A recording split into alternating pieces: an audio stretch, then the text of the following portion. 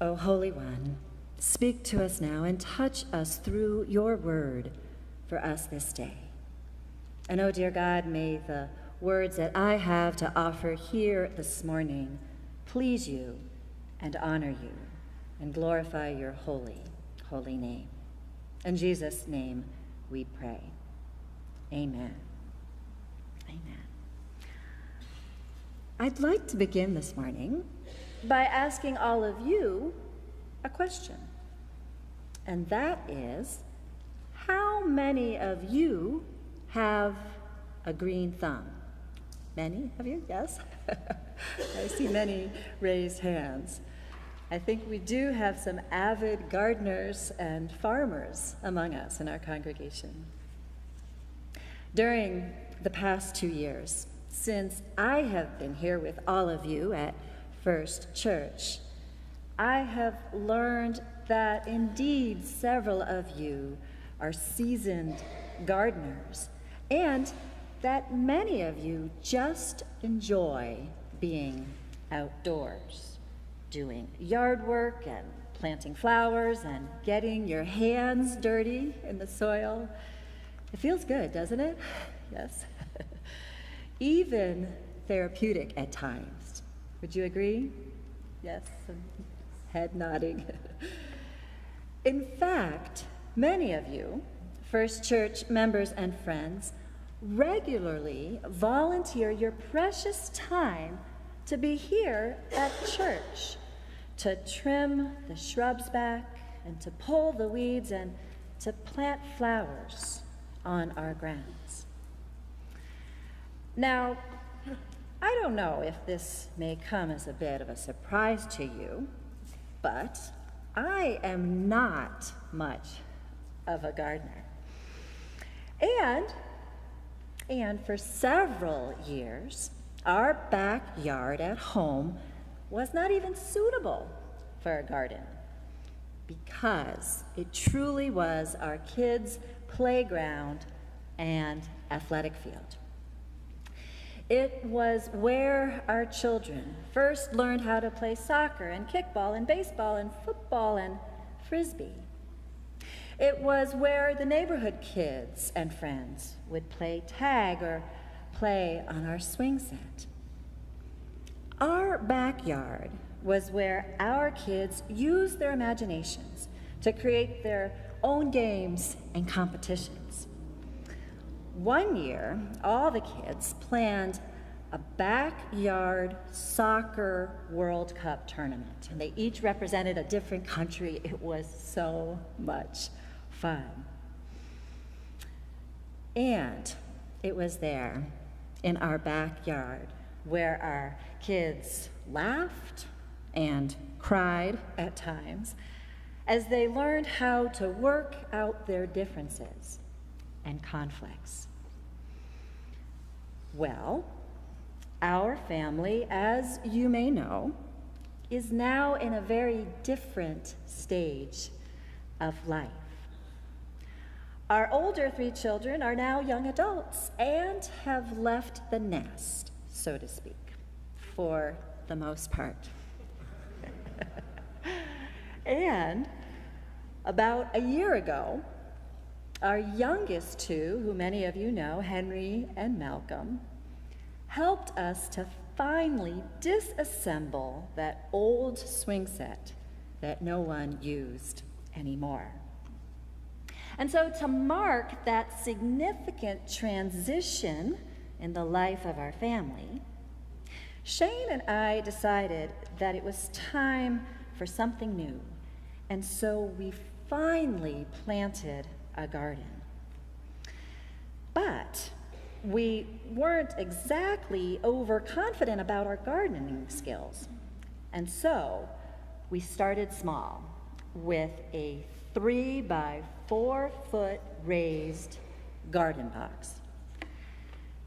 And guess what was the first thing to grow in our new garden last year? Any guesses?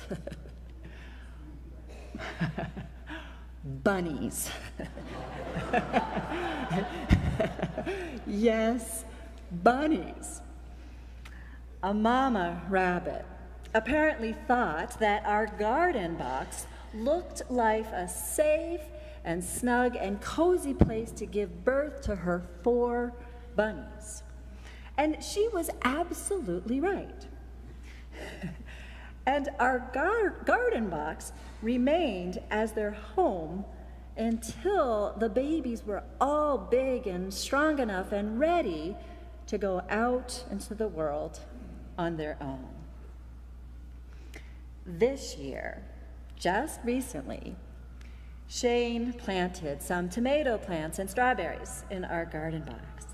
And already we are witnessing the gradual transformation, the flowering and the budding of both plants. It is such an exciting and encouraging and hopeful time to watch our plants develop and grow and hopefully thrive. As many of you know, gardening is certainly a very intentional and patient and disciplined and developmental process that simply cannot be rushed. But we are hopeful and eager to see this ripening and blooming process through because we are anticipating that the sweetness and the healthy goodness of our new plants will be well worth the wait.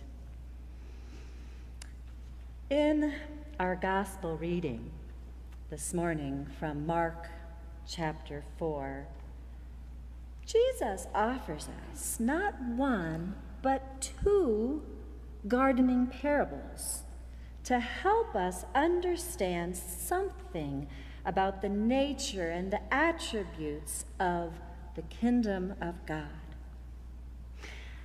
And whether we are botanists or master gardeners or beginners, gardening is literally a down to earth spiritual metaphor that is practical and relatable.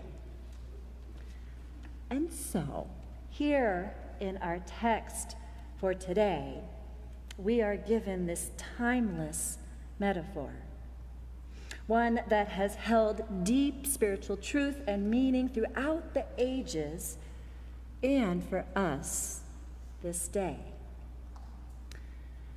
In the first parable in our reading for this morning, verses 26 to 29 of chapter 4, Jesus stresses that even though the farmer is the one who planted the seeds in the ground, actually has little to do with its growing or flourishing.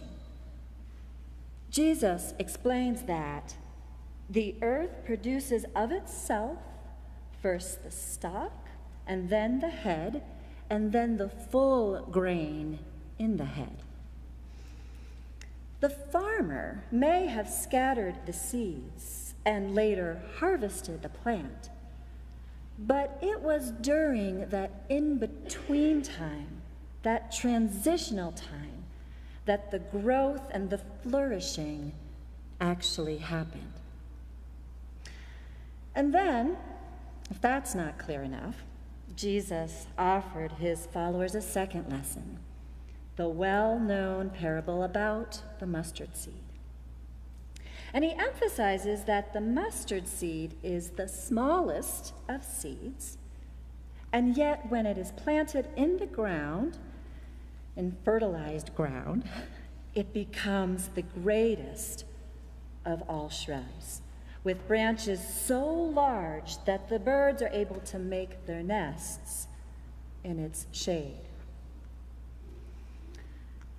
During the past couple of weeks, as I have been reflecting on our text from Mark for this morning, I have been reminded of two things. First of all, gardening is indeed a spiritual and patient process. And secondly, growth and maturation cannot be rushed. Now, I realize that this sounds rather basic and obvious when it comes to plant life, right? But in the context of our everyday lives and in our life together as First Church, that's not always easy to practice. In fact, I wonder if many among us may be naturally impatient or maybe socialize that way. I know that I am. if there is a need, we want an immediate response. If there is a problem, we want a solution. We want to fix it as soon as possible. If there is some level of anxiety in our lives, we seek comfort and calm and control and long for peace. And yet, Jesus reminds us through his gardening parables that we are often called to wait and be patient because maturation and healthy and meaningful growth cannot be rushed. However, in our reading for today, I don't hear Jesus suggesting to his followers that they are to become passive until the time of harvesting. Rather, I believe that Jesus is teaching his disciples then and all of us today to be patient and prayerful and discerning and faithful and hopeful in times of waiting and transition and in times of restlessness and anxiety. And in that way, waiting becomes intentional and waiting becomes active, and waiting can become life giving. Similar to the time from planting to harvesting, we too are called to wait at different times in our lives. And so, in that way, waiting indeed is a spiritual practice. And so I ask all of you when in your lives has it been difficult for you to wait? Perhaps you know what it is like to have waited several days for your doctor's office to call you back with some critical lab results. Or maybe you can recall a time when you thought you had nailed a job interview, but it took the prospective employer weeks to get back to you. Or, in today's world, it certainly can feel like an eternity to have to go without your cell phone for even one day. or if it needs to be repaired or replaced.